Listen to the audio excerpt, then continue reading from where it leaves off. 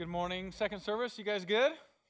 Yeah, all right. You're full in here. Let me remind you that uh, first and third service has a little more space, and uh, we always have an overflow in the chapel as it starts to get a little cozy in here. Uh, if you want to grab your Bible, your device, you can join me in Revelation chapter 2, and uh, that's where we're going to be this morning. about 60 years after Jesus had risen from the grave and descend, or ascended into heaven, uh, John, the last eyewitness apostle, uh, living, uh, he, he was exiled on the island of Patmos, and he was visited by an angel and given a revelation, an unveiling of the glory of the risen Jesus Christ. The curtain was pulled back, so to speak, and John gets a glimpse of what's really going on in the world. It's the story of the kingdom of God that Jesus declared in his sermons and, and he described in his parables again and again.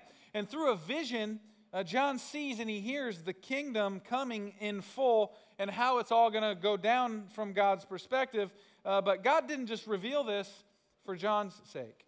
You see, John wasn't the only Christian who was suffering in a broken world and uh, for his loyalty to Jesus Christ. And he wasn't the only follower of Jesus enduring the temptation to just give up hope in Jesus and just give in and give in to the lies of the devil and, and give in to the world's way of seeing and doing life uh, Revelation chapter 1, verse 11, a couple weeks ago, or last week we looked at this. John receives this command from Jesus Write on a scroll what you see and send it to the seven churches.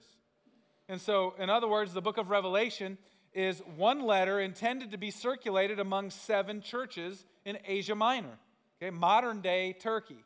Uh, but these were not the only churches in the Roman province of Asia at that time. Uh, it was expected, it was anticipated that they would pass on and share this letter, the letter of Revelation, to the other churches. Some interpreters have assigned these seven churches to represent seven successive ages in church history, but I would contend there's no biblical warrant to do that. The number seven in Jewish apocalyptic literature, which is what this is, symbolizes completeness. And so, in a sense, these seven churches represent all churches uh, at their time. And in fact, they do represent the fullness of the church for all time. We've said it like this in the last two weeks. The revelation of Jesus Christ was written to them, the original churches in the first century, but it was written for us and for every church family throughout history. You'll notice these words in the text today in chapter 2, verse 7. Let anyone who has ears to hear listen to what the Spirit says to the churches. At the beginning of this letter, there are specific prophetic messages directed to each of the seven churches, and yet the Holy Spirit is saying something in all of it to the churches. In other words, what God intended is that this church, uh, the church throughout Asia Minor and throughout history, would read each other's mail. Are you with me? Anybody? Okay, so as we look at these seven messages and over the next seven Sundays, the word to our church family is hey, examine yourself. And if the shoe fits, wear it. All right? Each of these messages in this letter has something to say to us truth for us to apply. We will be convicted, encouraged, warned, and blessed as we read them.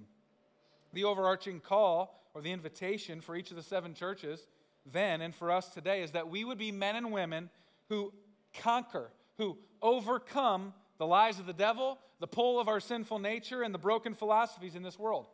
Okay? To overcome by holding on to the truth, by holding on to faith in who Jesus Christ is, He's the one who has overcome. In a world where we see people uh, who claim to be followers of Jesus Christ compromise with the values of the world and turn away from holiness and give up on faith and lose heart, to overcome is to hang on to the truth of God's word in a way that you get to know and believe and treasure Jesus Christ. Okay? But also in a way that you get to see yourself and see the world in light of him.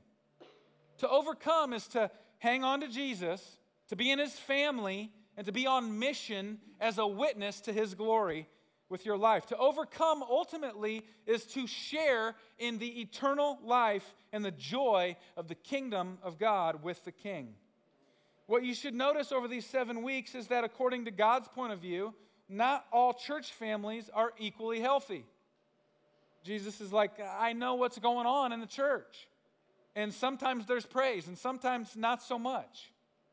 And so, what you see and hear in these messages through the triumphs and the failures and the struggles of these local church families are a commentary on the sort of things that the church has been dealing with throughout history and maybe even here in our church family today. Question Has the church always gotten it right? Uh, no. Are there legitimate reasons that sometimes people who have been brought up in the church feel like they have to deconstruct aspects of their faith? Sadly, and unfortunately, the answer to that is yes.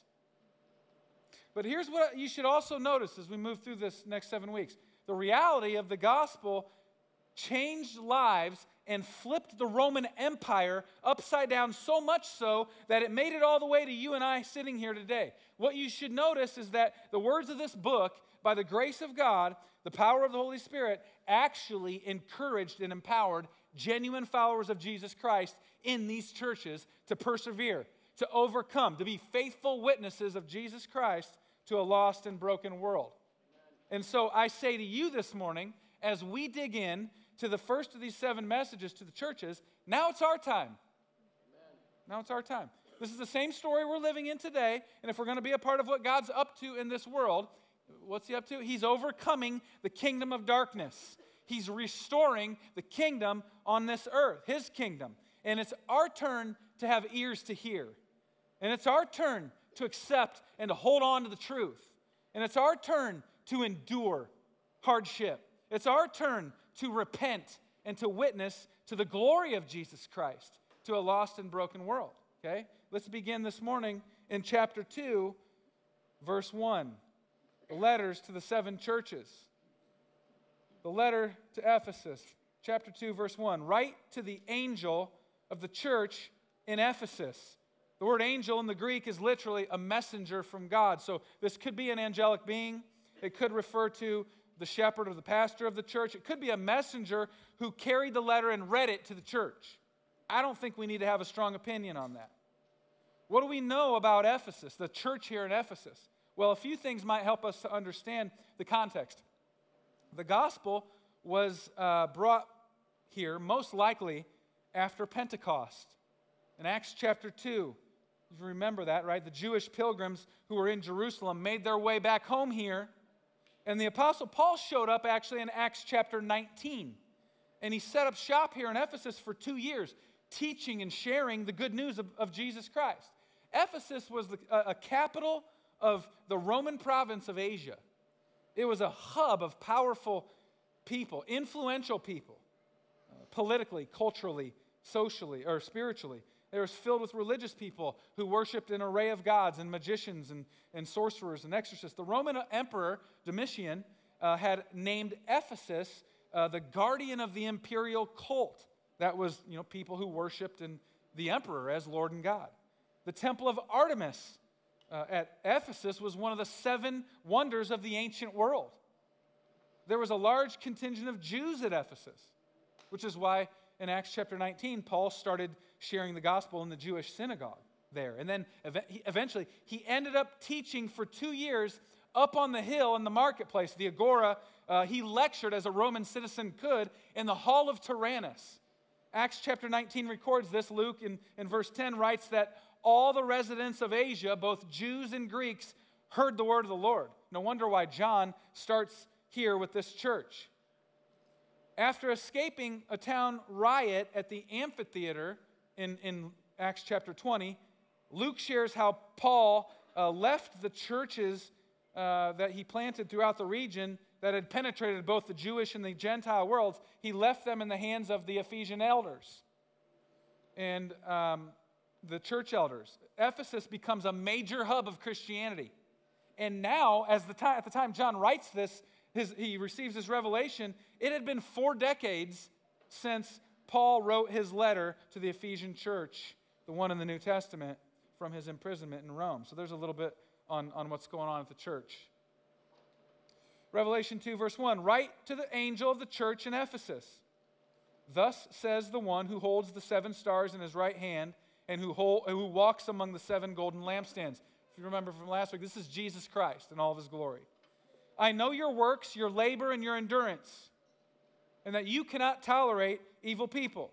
You have tested those who call themselves apostles and are not, and you have found them to be liars. I know that you have persevered and endured hardships for the sake of my name and have not grown weary.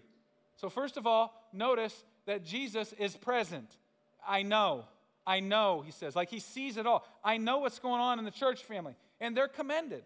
Like imagine if John Nito were to gather all of us on a Sunday and say, hey, I got a letter from Jesus. We know it's from him because it's written in red ink. And then John reads it aloud. It's a church joke, right? John reads it aloud. Like, this is what would have happened as these churches gathered in Ephesus. Can you imagine hearing this? Uh, like, he knows what we're doing, and he knows that we're, we're holding on to the apostles' teaching, and we're devoted, and we're excelling in our effort and doing good works, and we're holding tight to the truths of Scripture. We're not lazy, we're not indifferent to the truth. We're busy, and we're persistent, and we're, we're persevering through opposition.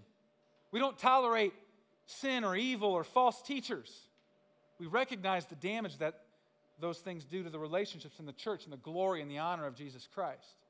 By the way, for those of you um, who are brothers and sisters in the church, and especially for those of you who have been called to lead in the church, we have been called to love the sheep. Okay, you know, followers of Jesus, he calls us sheep a lot. You know, it's kind of a shepherd sheep thing, right?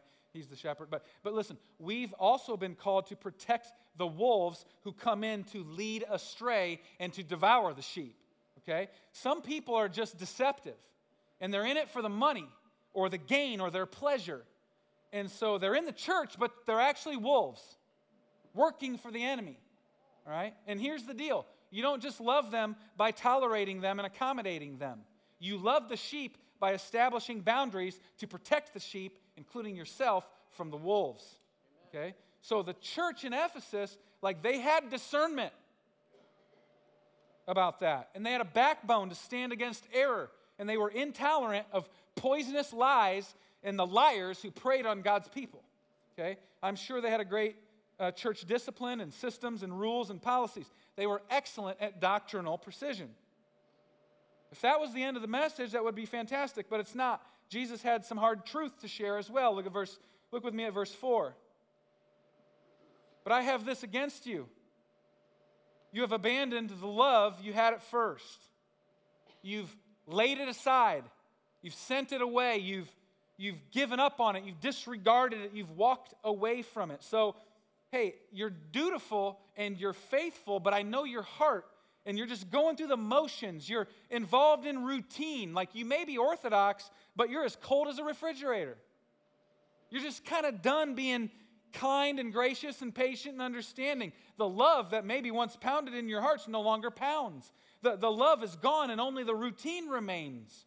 And you've become heavy handed and authoritarian and judgmental and uncaring for people. Where's the affection for Jesus Christ? Where's the affection for others that flows from the love of Jesus Christ? You're doctrinally precise, but you've lost the capacity to love and care for imperfect people. But we're Bible believing. Okay, but are you kind and gracious? Well, we speak the truth. Yeah, but do you speak it in love? We have convictions informed by the written word of God. Yeah, but do you have compassion informed by the living word of God? Abandoning your first love or losing your first love, some commentators have said that John is talking about the passion of when you first loved and knew Jesus. But here's why that's not likely the case. When you lose your love for Jesus, in Scripture, it's contrasted with idolatry, like loving other things more than Him. But according to the commendations here, that's not this church's problem, okay? It's not that they're falling into temptation or adultery with the world or, you know, they're self reliant uh, or they're not tolerating or they're just tolerating the love of other things over Jesus. It's therefore more likely that the love that they've lost is a love for other people, which, of course, flows out of the gospel. Okay? And ultimately, that is a love for God that's expressed in real life ways, right? Most biblical scholars explain that he's not necessarily talking about losing a love for Jesus. It's about a love for people that flows from the gospel. And so losing your love is about becoming turned inward on yourself in self protection and in suspicion of others and judgment of others. And the question we should be asking ourselves here this morning is how do we have the tendency to become like the Ephesians? If we listen to the Bible, or if we just read it historically like it's a bunch of interesting facts to understand, which what many people do, or if, or if we just read it theologically and use it to criticize these people, well, we're missing the entire point. Okay? God gave this book to us that we might read it humbly, and that if we come under it, and we might just say, you know what, I, I may be a lot like these guys. Or, or I could, I could very easily become a lot like them, actually. And so this word is to them, but it's for us.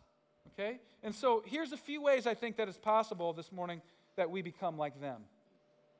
Think about your attitude toward other people, right? And, and how you allow them to become a frustration or an, an annoyance to you. And yet, would you consider that are not, are these not the people that God has called you to love? In the church, like, yeah, it's usually the more immature Christians, right? It's your brothers and sisters you struggle to get along with. I wish they wouldn't be so immature, right? Like, or, and what about the people outside the walls? Okay? Aren't they the people that God has called you to reach? Like, so listen, if, if you're constantly bitter or complaining about the immature people in here, or the messed up, rebellious, dirty people who don't believe how you do about God's word out there, how are you loving them? Like, how are you willing to sacrifice or risk anything to love them? How are you expressing compassion for them? Think about your expectations on Christians who have the Holy Spirit and who are being transformed in their behavior versus your expectations on the lost and how they behave. Now, what do you expect from unbelievers? What do you expect? And but by the grace of God, you'd be just as messed up. Now, you don't have to like the things that they're doing or, or, or to like them, but you've been called to love them. And you've been given the Holy Spirit if you're in Christ. Romans 5 5, uh, Paul writes to the church in Rome and he says, Hey guys, God's love has been poured out in our hearts through the Holy Spirit who was given to us. Again, that doesn't mean be naive and, and just let wolves in here to hurt, our, hurt us or our families uh, or our churches. There's always discernment and wisdom that we need from above, and the Holy Spirit will provide that.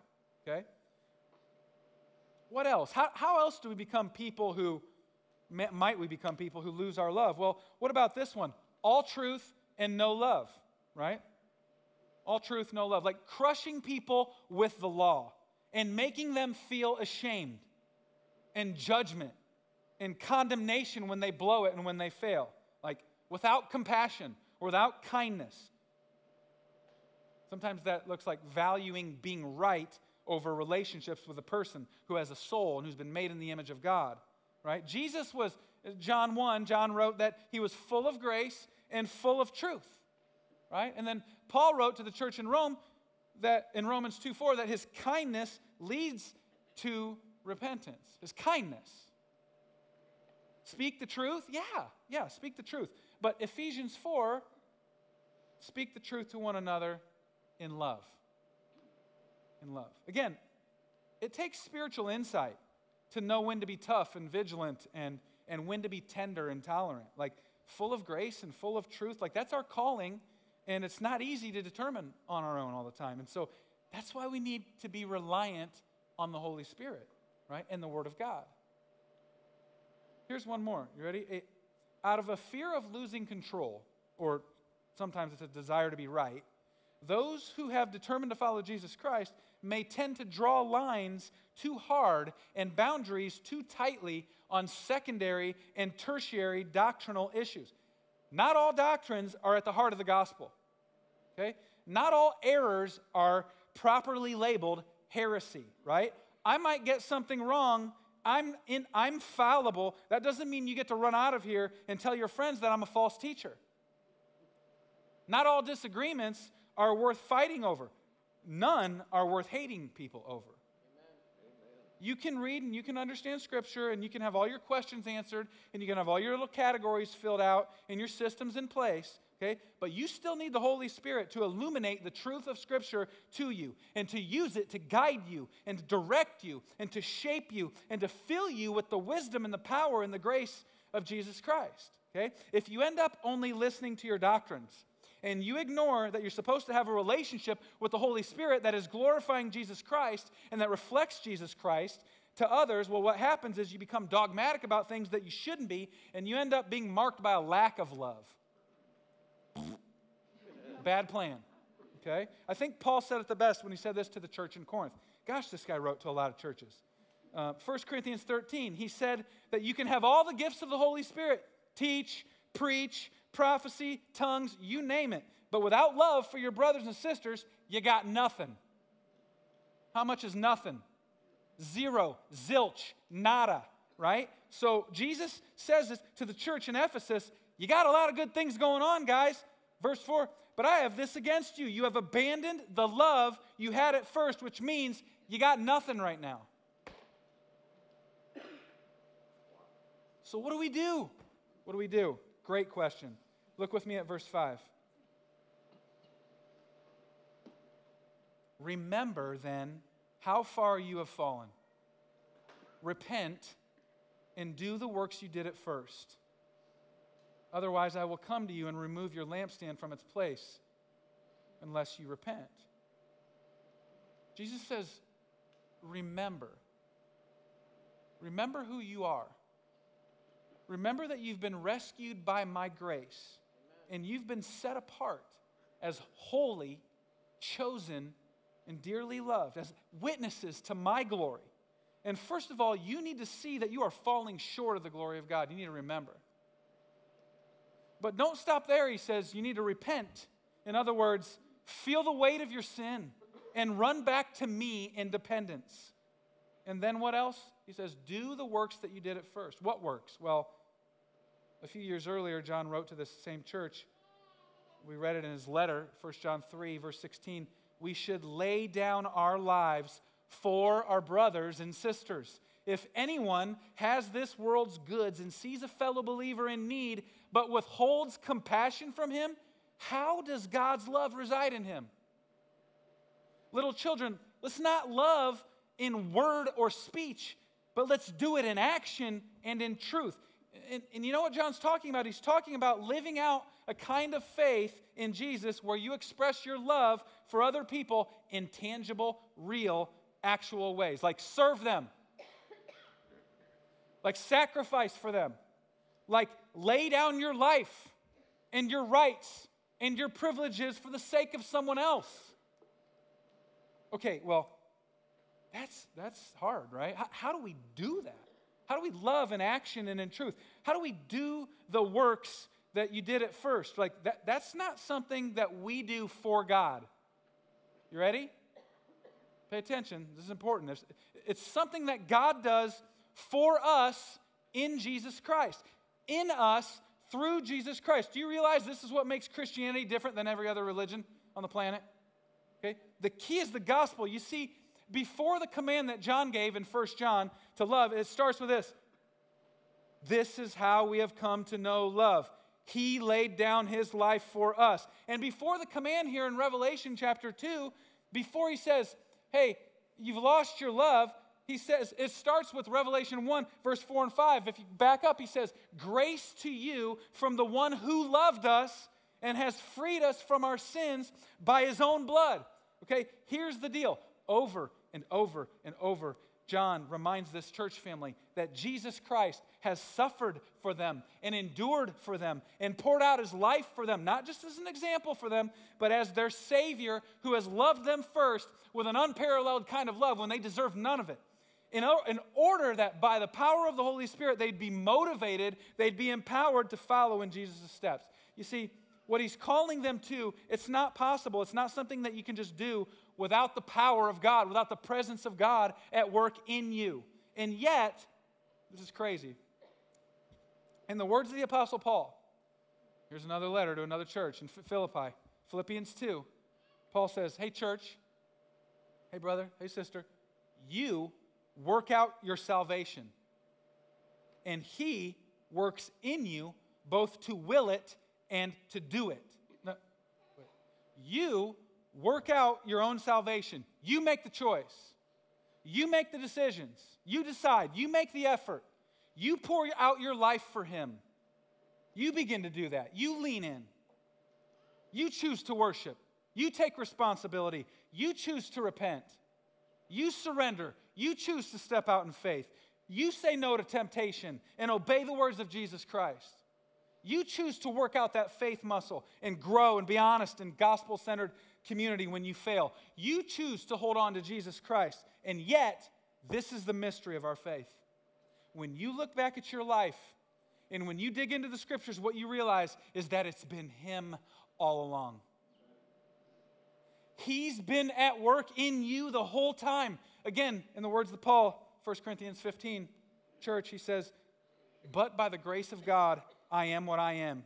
And his grace toward me was not in vain. On the contrary, I worked harder than any of them.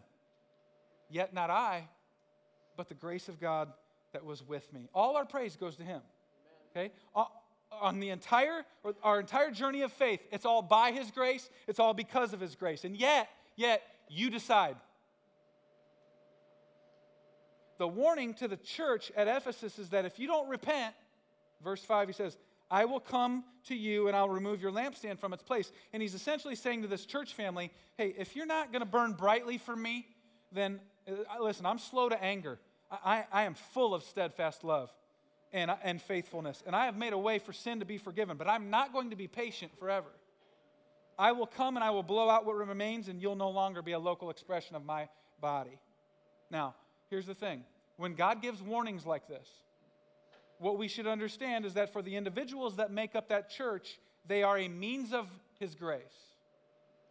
What? what is They're a means of grace. In other words, they are an expression of His kindness because what they are, are an, is an invitation to repent and experience His promise of forgiveness and his faithfulness. Okay? His warnings will be heard differently by different people this morning. For those who have not truly been born again by the Holy Spirit, maybe, I don't know, you're still considering the gospel, or, or you haven't yet grabbed onto the grace that you've been invited to receive in Jesus Christ. Or maybe you've been sitting in here performing and pretending and for years and you just don't have what you claim to have, right? The warning is intended to wake you up to the reality of your condition and to invite you to repent and believe the gospel and receive the gift of what it means to be reconciled to God in Jesus Christ. Simple as that. Simple as that. And yet, for those who are genuine followers of Jesus Christ, God's warnings will be heard a little bit differently. Okay, maybe you've been drifting. And maybe you've been wandering on a roundabout of stupidity, chasing after other things than Jesus to save you, okay? God's warning should encourage you and exhort you that if you claim to have the Holy Spirit living in you, then the way that you live and the way that you love should be looking very different than those who don't. The warning is a means that God will use to wake you up, okay? To ignite and to fuel and to enable you to persevere in your faith and to keep trusting Jesus to the end. Okay? But there's not just a warning here, there's more than that. Remember, there's commendations, and then there's one more commendation here in verse 6. One more attaboy. Look at this. You do, you, yet you do have this, he says. You hate the practices of the Nicolaitans, which I also hate. Now, most commentators agree that this can refer, or this refers to a group of licentious, uh, you know, like don't tell me there are rules to following Jesus. I can follow him and live however I want kind of people, right? In Ephesus, it's probably uh, the, the people who tolerated the occult practices of the day, and they were compromising what Jesus taught about how to deal with the desires of their eyes and the lust of the flesh. And, you know, they had one foot in Christianity and one foot in the world, and they're trying to drag Christians out to just live however they want. And again, this church isn't tolerating that, and they're commended for, for that. But there's not just a warning, there's not just commendations. Notice at the end here, there's a promise. Notice that he lands on a promise. Verse 7. Let anyone who has ears to hear listen to what the Spirit says to the churches. To the one who conquers, the one who overcomes, I will give the right to eat from the tree of life, which is in the paradise of God. Now, back over in John's first letter, 1 John 5, 5 5, he actually explained that our faith in Jesus Christ is the victory that overcomes the world. Okay? To be able to be pure in the face of temptation, to be able to persevere in, in the face of op- opposition and oppression. Guess what, though? Guess what? That doesn't mean that we won't ever experience battles with sin. Okay? at times we will all find ourselves on the roundabout of stupidity. Okay? And when we travel on a path of sin, well, we should expect that there will often be consequences that we have to face in our lives. Choose to sin, choose to suffer. Okay? But ultimately, if we've been born again, the promise of Jesus Christ is that He is faithful. Amen. He will hold on to us. The Holy Spirit will open our eyes through the scripture, through worship, through our brothers and sisters who have the Spirit, the truth about who He is and what He's done and what He's promised about who we are will remember from where we have fallen. And He will empower us to repent. We'll run back to Jesus Christ, the one who has given us the victory, and it will again be lived out in our lives or evidence in our lives. This is God's promise to all genuine believers. And yet, we should be honest, we must not assume that every member of a local church in every period of history is a genuine follower of Jesus Christ. Matthew 7, out of the mouth of Jesus, there will be those on that day who say to me, Lord, Lord, didn't we cast out demons in your name? We worked in children's church. He says, Hey, I never knew you. Never knew you. Specifically, the promise here in verse 7 is the right to eat from the tree of life, which is in the paradise of God. If you recall, when Adam and Eve sinned, uh, and God drove them from his presence in the paradise, the Garden of Eden, humanity was kept from this, the, the, tree of life, which symbolizes the eternal kind of life that God created us to enjoy with him. And so, what you have here is the promise that all overcomers will live forever eating from the tree of life in the paradise of God. Now, Eden was an amazing paradise, but listen to where this story is headed. Revelation 22, uh, starting verse 1, the last chapter in the Bible. Then he showed me the river of the water of life, clear as crystal, flowing from the throne of God and the Lamb down uh, the middle of the city's main street. The tree of life was on each side of the river bearing 12 kinds of fruit, producing its fruit every month. The leaves of the tree are for healing, the well being, the enjoyment of the nations, and there will no longer be any curse. Genesis 1 1. In the beginning, God created the heavens and the earth. The last book of the Bible, Revelation 21 1, then I saw new heavens and a new earth. The story of the Bible is the good news about how far God has gone to redeem this broken world from the curse and the consequences of our sin. 2,000 years ago, the Son of God left heaven and added human nature to his divine nature. He was conceived by the Holy Spirit. He was born to a Jewish woman, given the name Jesus, and he claimed to be the promised Messiah. He lived a perfect life, and he bore our sin on the cross in our place. By his death and resurrection, he conquered sin, death, hell, and the devil. And in so doing, he has made a way for sinful rebels like you and me to be reconciled to God, that we might enjoy an eternal kind of life with him in a restored kingdom. That's the gospel. Okay? For the one who overcomes, when you get there, okay, when the new heavens and the new earth, is going to be here, by the way, on a restored earth. There's going to be a tree of life. And I don't know exactly what that means, except that it's about the eternal enjoyment of God's presence.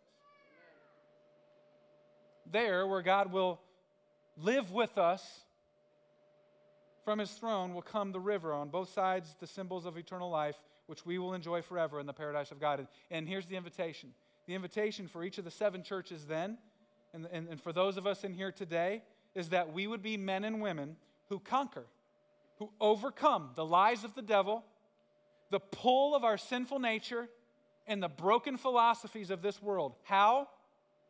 By grabbing hold of and holding on to faith in Jesus Christ, the only one who has overcome.